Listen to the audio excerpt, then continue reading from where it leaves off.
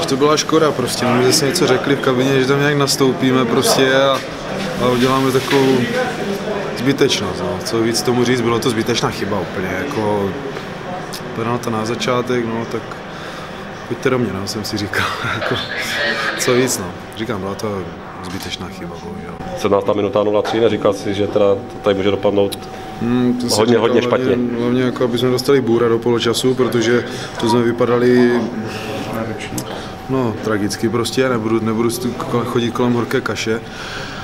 Uh, všude pozdě prostě, a i přidávky jsme si dávali, nám to odskakovalo prostě, to bylo takové, co k tomu říct, no.